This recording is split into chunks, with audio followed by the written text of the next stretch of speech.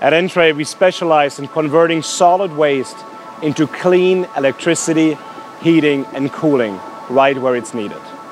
Entrade designs, engineers, and operates the world's smallest clean energy heating and cooling power plants on the market. They fit on the back of a pickup truck and run on locally available feedstock.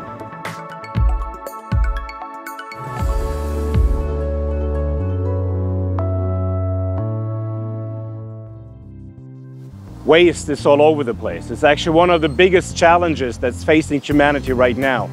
From polluting the oceans to massive methane emissions, landfills are just not the way to go. Rather than sending that trash to a landfill, why don't we use that trash to generate electricity? Why not just do it on site so it really helps close the loop on the waste to energy stream? Renewable energy is really the future of the Earth and a healthy environment. The US is the biggest waste producer in the world. Entrade is offering the perfect waste solution for the states. We can go right on site, get rid of your waste, not have to ship it cross country and not openly burn it. Rather, we turn it into useful energy heating and cooling. You don't have to take waste from one source, drive it across the state to another place. If you can take the waste and actually process it in the location that you are, that's a tremendous opportunity to make the environment a much cleaner place.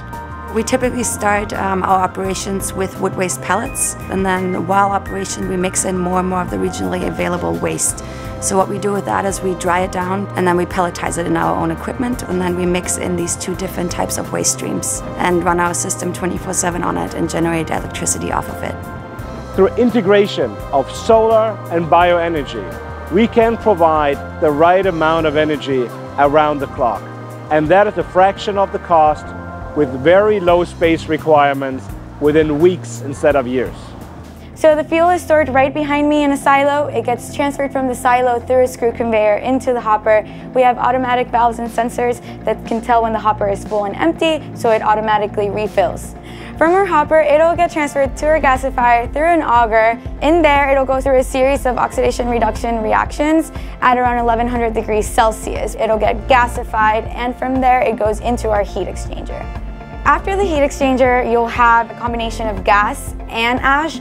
Your ash will get taken through the cyclone and deposited into this bin. From there, it'll get mixed with air and run through a combustion in our engine. The engine will power our generator. What we have is a closed loop system that generates energy and heat without all the bad emissions.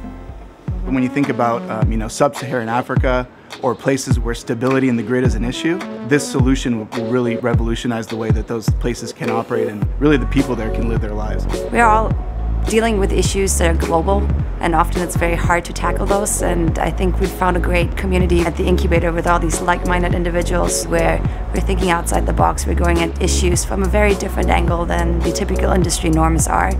And with that I think we're changing industry norms, which is very important.